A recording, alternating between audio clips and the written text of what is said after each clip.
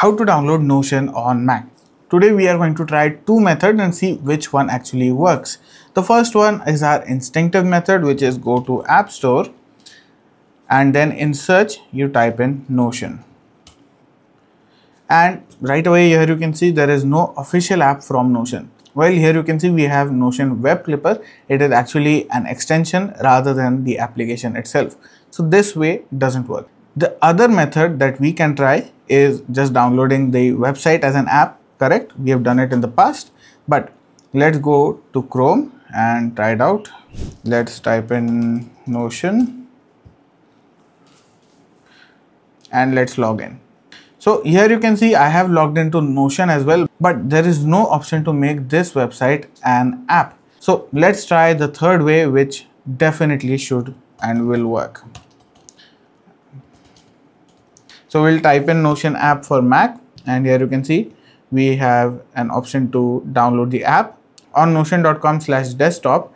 You can just scroll down and click on download for Mac OS and it's going to start downloading. So here you can see we have the progress as well. So it has downloaded. So if you're opening it up from the dock itself, you can just click on the DMG file and a window should open up which says Notion installer. So to install Notion, you just have to drag the logo onto the applications folder. And then if you're not on an admin account, you will have to put in the admin user and the password. Let's do that.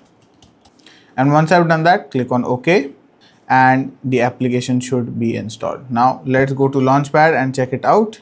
So here you can see in Launchpad, we have Notion. So we can just open Notion this time so it's going to say that it is an application downloaded from the internet. Are you sure you want to open it? We are sure this time.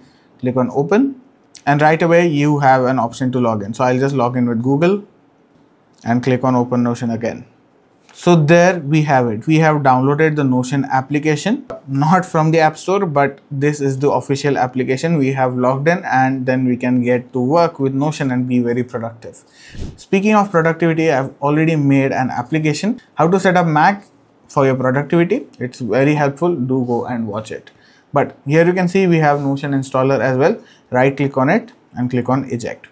And that's about it. You don't need to worry about anything else. If you do like the video, do drop a like, share and subscribe. See you in the next video.